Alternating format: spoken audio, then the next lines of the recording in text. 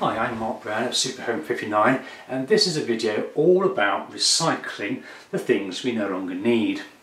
Now I'm starting here in the kitchen where most, if not all, of our recycling starts.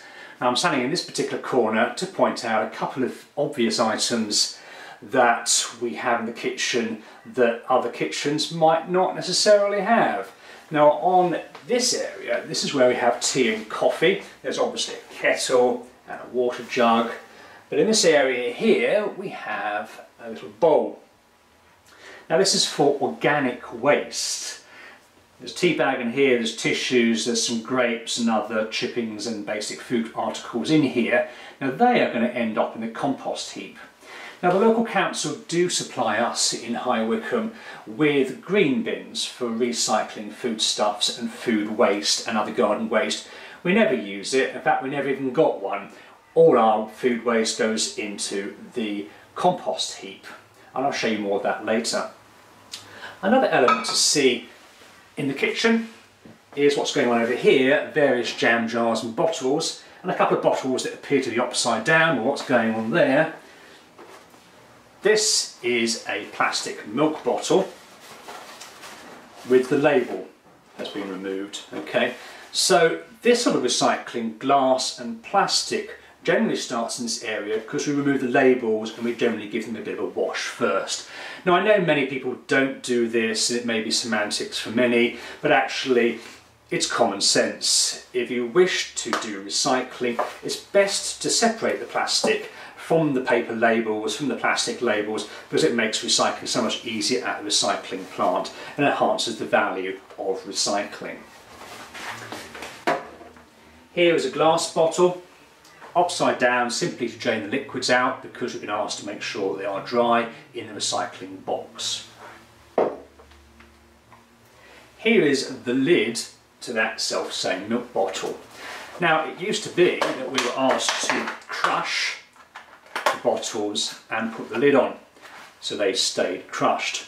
But that's no longer the advice we have in High Wycombe. In fact, we're now asked to keep the lids separate and actually we still crush the bottles. They don't stay quite as crushed as before but they do actually take up less volume. Now it doesn't so much matter about our recycling bin because that is really really large and we don't have a large consumption of recyclables. But what it does matter really is for the recycling lorry. Now here I am at the kitchen sink and there's a couple of items here to be recycled I could, if I wanted to, wash up the water bottle, but to be honest, that would be a waste of hot water. Now we do use the hot water at the end of the washing up in the bowl to soak off labels, but generally it's not a really sensible thing to do to generate hot water to waste it on recycling, so generally just use waste water for that purpose. Here I am just cutting off that label. Can't recycle that sort of cellophane, but I can recycle that. So put that to one side with the lid separately. What we have here is a small plastic container that was used for grapes or some kind of fruit.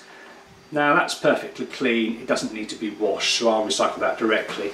But there are other containers that we do have around the house that are quite dirty and they'll be rinsed out of any dirt in the washing bowl at the end of the washing up when everything else is cleaned and dried and put away. We do like to make sure our recycling is free of labels and quite clean.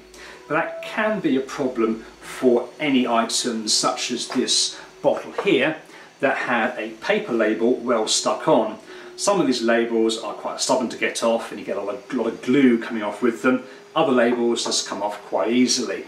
I can name you that Heinz tomato ketchup bottles do, they will slide off very easily as soon as you soak them, as do Branston pickle bottles, but for some reasons olive oil bottles seem to be quite stubborn. But in the end, we scrape off the labels anyway. Now I've just come out of the kitchen and I'm going into the garage where all our recycling boxes are. We're quite lucky that we have a large garage for this purpose. And here's that recycling we saw earlier. Now the big blue bin here with the big number 5 on it, that's our mixed recycling box. As you can see it's a large wheelie bin in our area.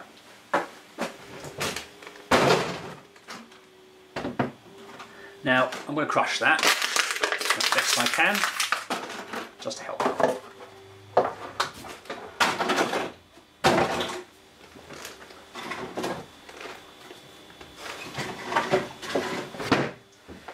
Here's two further items I can recycle.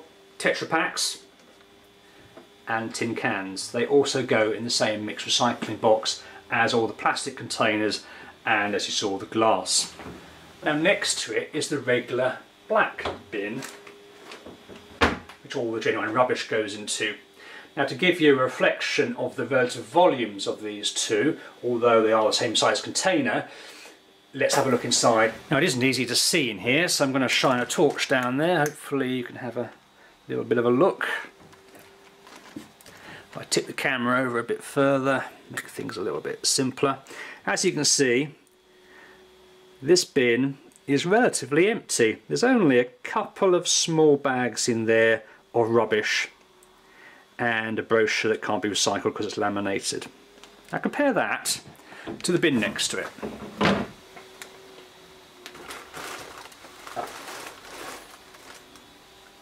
As you can see this bin is almost full of recycling. So what does that tell you?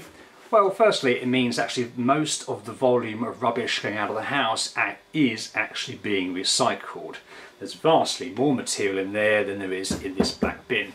It isn't quite that simple, of course, because our bin collections are once every two weeks.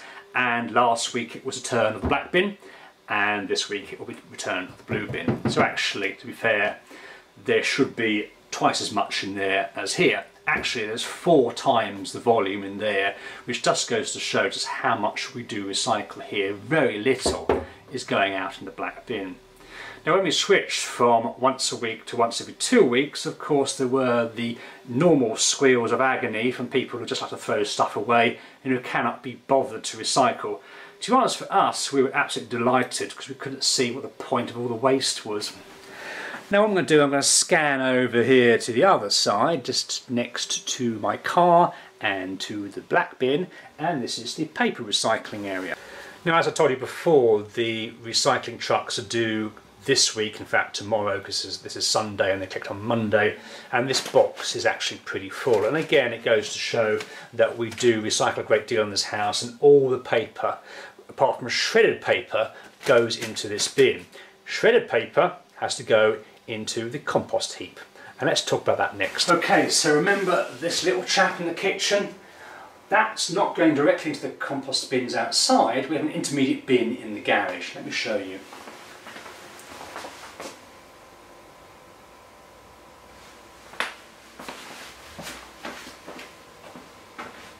This little scraps bowl we have from the kitchen near the area where the tea bags are generated obviously isn't very big and it fills up on a daily basis.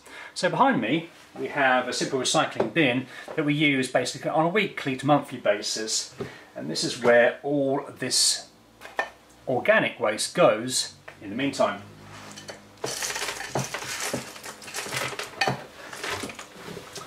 Now the only thing about storing organic waste like this for a week or more in a warm garage where there's a boiler behind me and a car here is that you will occasionally attract some insects and fruit flies as we occasionally get every year. Luckily this year due to a relatively cold and mild spring and summer actually we haven't got any flies in here at the moment which is very good. But actually we stock up on quite a bit of this to spray in there occasionally to keep away the flies and also we have if you just about see here and here some fly paper around to try and suppress the flies. Now I'm going to empty the bin outside and show you what we do with that. And what I do with that is walk down to the bottom of the garden and shove it in the compost heap as you're about to see. It's a relatively short walk on a lovely dry summer's day like this in July.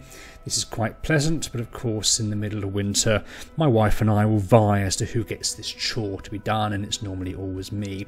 The compost heap is a three bin system, as you can see. The third bin is to the right, and it's covered with plastic tarpaulins, weighted down with bricks and with tiles.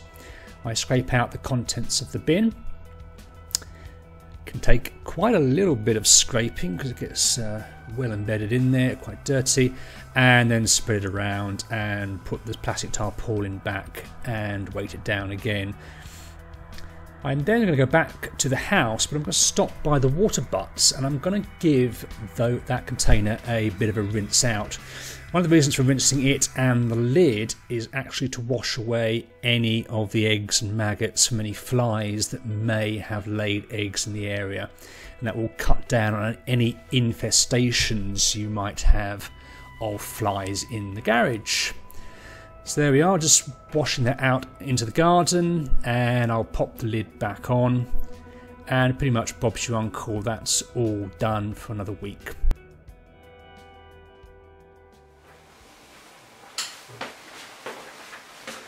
And here we are back in the kitchen again. This is the end of this video about our recycling here at Super Home 59.